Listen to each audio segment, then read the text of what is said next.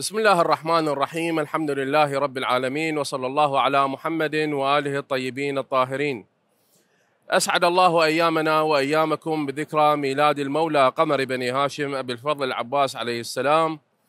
جعلنا الله وإياكم من زائريه في الدنيا ومن الفائزين بشفاعته في الآخرة. لا يزال الكلام حول شرح زيارة أبي الفضل العباس سلام الله عليه ووصل الكلام بنا إلى قول الإمام الصادق عليه السلام فنعم الصابر. بعد أن بين الإمام الصادق عليه السلام فنعم الأخ المواسي أعطى أيضا صفة أخرى واستخدم نفس اللفظ وهو كلمة نعمة. فقال فنعم الصابر.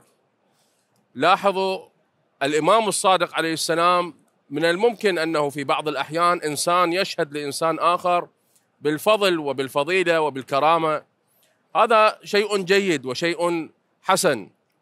ولكن في بعض الأحيان إمام معصوم طهره الله سبحانه وتعالى وافترض طاعته على الناس هو الذي يشهد لبعض الأشخاص. هذا يدل أنه في حقيقة الأمر هذه الصفة كان متصفا بها. وهذا أيضا يدل على على عظم مقامه وعلى رفيع درجاته. فالإمام الصادق عليه السلام أعطى صفة الصابر لأبي الفضل سلام الله عليه. الصابر والصبر إذا ترجعون إلى كتب اللغة تجدون بأنها جاءت بمعاني متعددة. في بعض الأحيان تأتي أو يأتي الصبر بمعنى تحمل الشدة.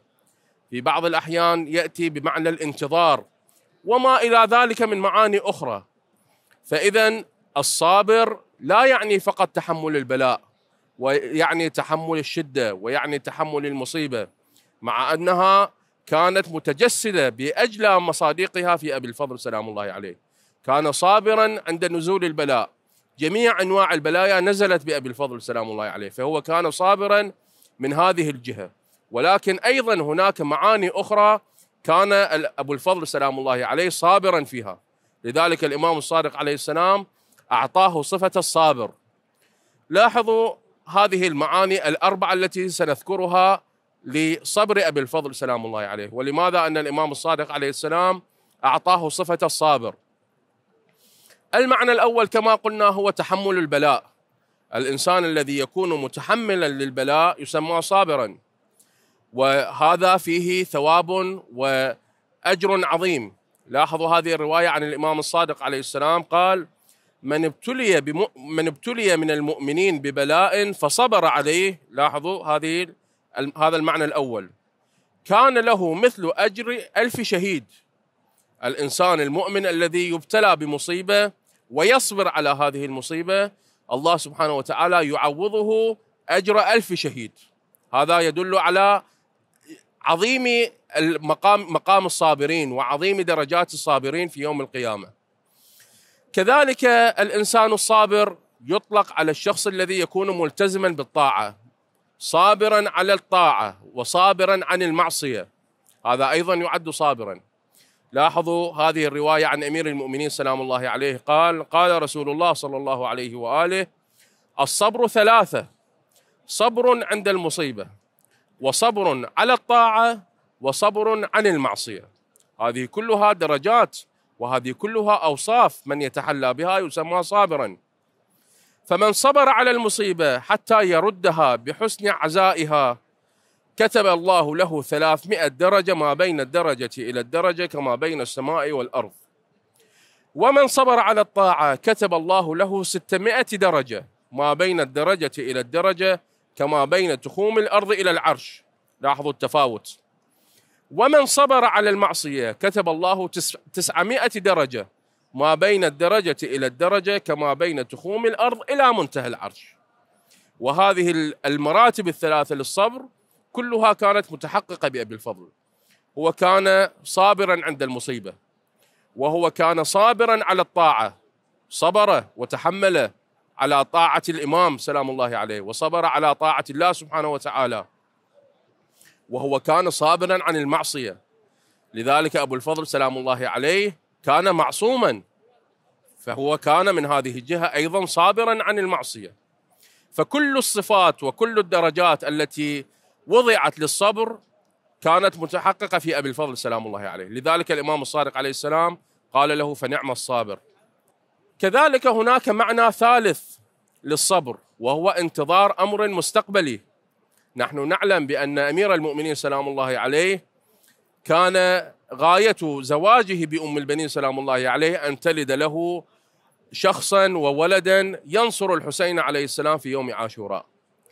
فأبو الفضل سلام الله عليه تربى على هذه الفكرة وتربى على هذه الحقيقة منذ نعومة أظفاره منذ ولادته كان يربى ويغذى بهذه الفكرة وبهذا الأمنية التي يريد أن يحققها في يوم عاشوراء فهو كان يوما بعد يوم ينتظر حلول يوم عاشوراء حتى يحقق هذا الأمر ويحقق وصية أمير المؤمنين سلام الله عليه في نصرة الإمام الحسين عليه السلام.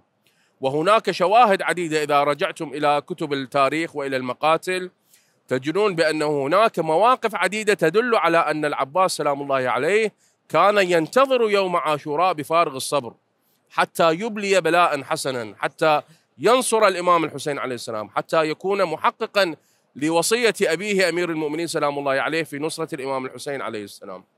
فهو أيضا من هذا الجانب كان منتظرا لأمر مستقبلي والذي يكون منتظرا لأمر معين في المستقبل يعد أيضا صابرا فهو فنعم الصابر الإمام الصادق عليه السلام عبر عنه أنك يا أبا الفضل أنت كنت نعم الصابر نعم الشخص الذي كان منتظرا لنصرة الحسين عليه السلام في يوم عاشوراء كنت أنت يا أبا الفضل.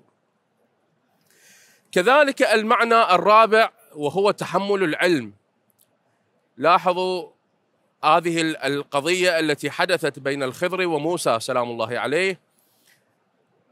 الله سبحانه وتعالى كيف عبر عنها في القرآن الكريم؟ لاحظوا يقول الله سبحانه وتعالى بسم الله الرحمن الرحيم فوجدا عبدا من عبادنا آتيناه رحمة من عندنا وعلمناه من لدنا علما. قال له موسى هل أتبعك على أن تعلمني مما علمت رشدا؟ لاحظوا هنا. قال إنك لن تستطيع معي صبرا. فاذا عبر أو الخضر سلام الله عليه عبر عن تحمل العلم بالصبر. وكيف تصبر على ما لم تحط به خبرا؟ لاحظوا أيضا إشارة إلى الصبر. هنا موسى عليه السلام ماذا أجابه؟ قال له قال ستجدني إن شاء الله صابرا ولا أعصي لك أمرا. فاذا إشارة إلى أن العلم وتحمل العلم هو أيضا يدل على أنه الإنسان الذي يكون متحملا للعلم يكون صابرا. وهنا أبو الفضل سلام الله عليه كان بهذه الجزئية وبهذه وبهذا المعنى صابرا سلام الله عليه. لم ينقل التاريخ لنا ولم تنقل الروايات الشريفة أن ابا الفضل سلام الله عليه كان أخفي عليه علم من علوم أهل البيت سلام الله عليه. أو أن أهل البيت سلام الله عليه كانوا يستثنونه في بعض المواقف وكانوا يبعدونه في بعض المواقف الأخرى. كل المواقف كل الظروف الخاصة التي كان يعيش بها أهل البيت سلام الله عليهم كل العلوم التي تعلموها كان أبو الفضل سلام الله عليه مستودعا لهذه العلوم. حتى أنه ورد في الروايات الشريفة إن العباس بن علي عليه السلام زق العلم زقه هو كان تلميذ أهل بيت الرسالة كان متحملا لعلومهم. فهو كان بهذا المعنى أيضا صابرا أي صابرا على تحمل علوم أهل البيت سلام الله عليهم. جعلنا الله وإياكم من العارفين بمقام العباس سلام الله عليه في الدنيا ومن ال... الذين يحشرون تحت رايته في الآخرة. والحمد لله رب العالمين وصلى الله على محمد وآله الطيبين الطاهرين.